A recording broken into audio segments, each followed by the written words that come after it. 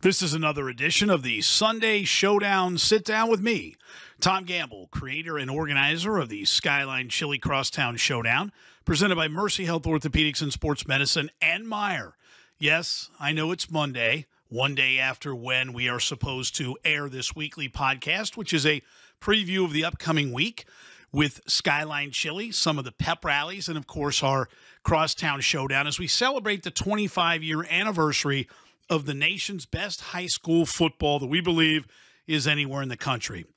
But we needed to pause a day and really pay proper respect to the the heartbreaking loss of, of one of the of our own in the high school football community here in greater Cincinnati, the passing of Lakota East graduate, a 2022 graduate, and a current freshman football player at Indiana State University, Caleb Van Hooser, who was killed in a one vehicle accident. He was among three persons who died early Sunday morning in an accident in Riley, which is kind of near the Terre Haute campus, in a, in a single car accident. And, and certainly the, the thoughts and prayers from the Skyline Chili Crosstown Showdown family and the entire high school community go out to Caleb's family, the Lakota East football family, and the school and community. And uh, we certainly, because we have Lakota East hosting Lakota West as one of our games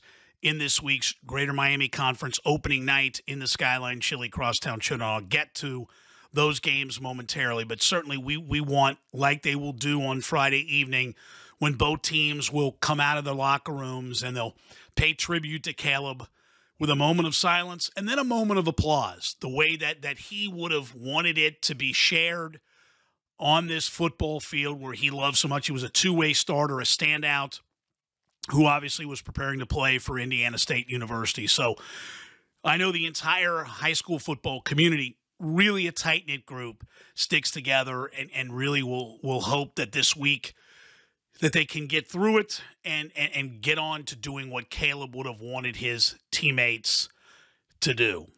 So we'll now take a look at what we've got. We had a, an outstanding first week in the Skyline Chili Crosstown Showdown. A pair of games on our opening night on Thursday a dominant performance by Taft and a victory over Roger Bacon, 32 to nothing. Tyler Williams has an outstanding. He had a great year last year, and and as I talked to Gavin Crawford, the MVP, after the game, he said, and I said, "What's your goal?" And he said, "State." Taft has a shot.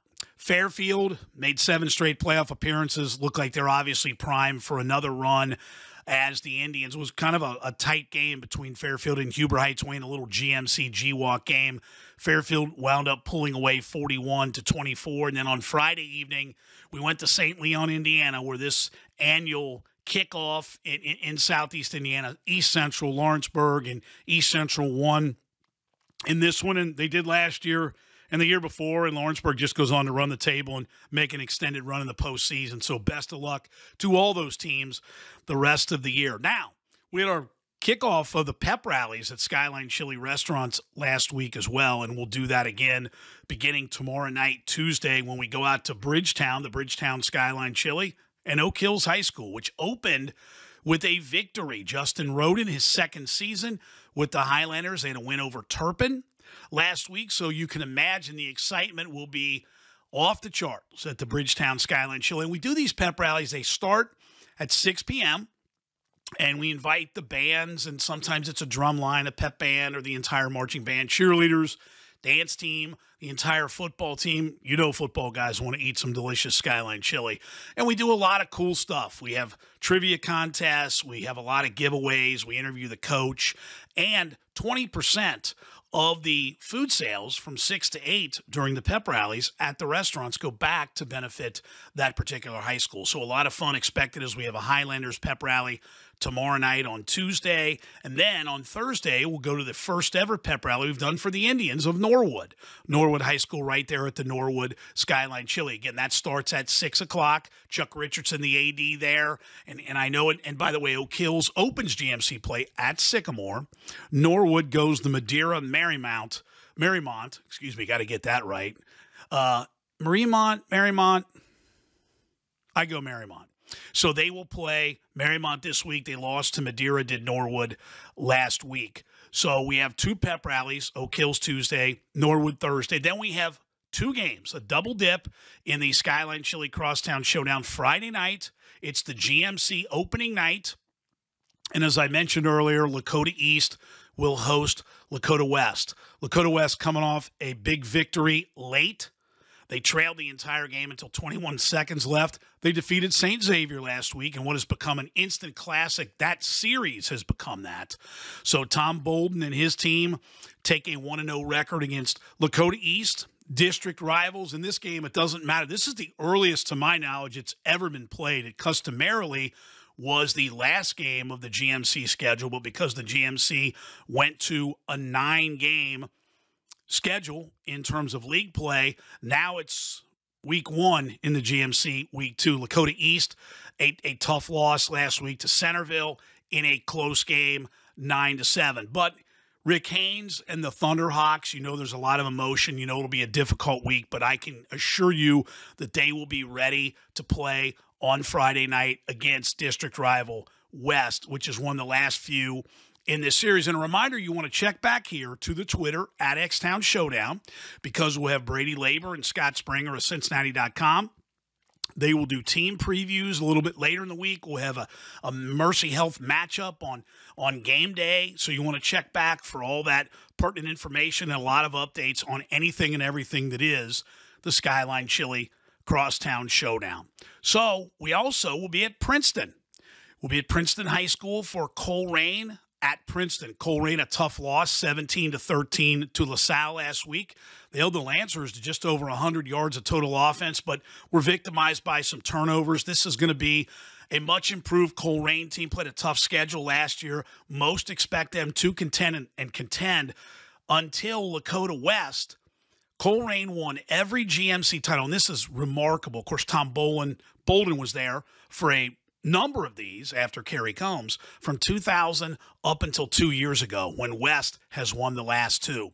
Princeton expected to contend with Lakota West this year. Andre Parker coming over from Winton Woods, his first season last year, successful with the Vikings. They're loaded with talent. They put up 61 points in a victory at Anderson last Friday night. They're expected to be very explosive on offense, got a lot of playmakers. So this one could be a very exciting game as well. So, two in the GMC Lakota East hosting Lakota West, and Princeton hosting Colerain. Both games in the Skyline Chili Crosstown Showdown presented by Mercy Health Orthopedics and Sports Medicine and Meijer.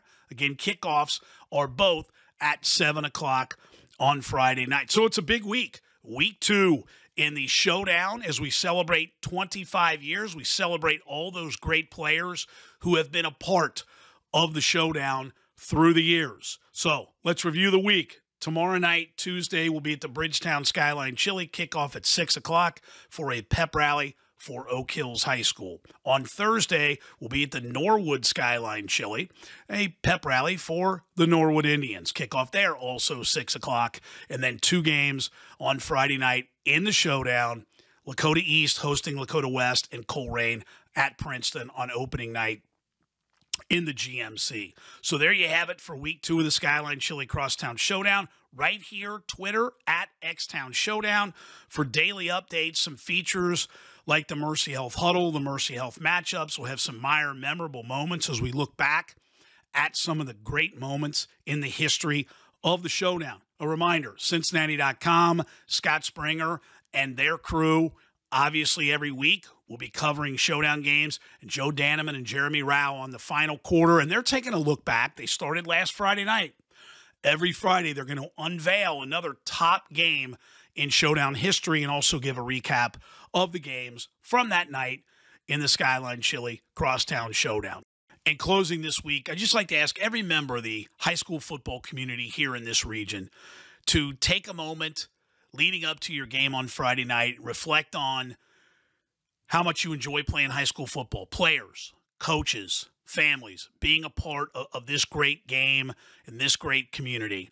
And everybody involved with the Skyline Chili Crosstown Showdown again wants to send condolences to the family of Caleb Van Hooser and also the Lakota East football program, Rick Haynes, the athletic department, the school, and the community for such a tragic loss. And everybody on Friday night enjoy again playing high school football. This has been the Sunday Showdown Sit Down with Tom Gamble.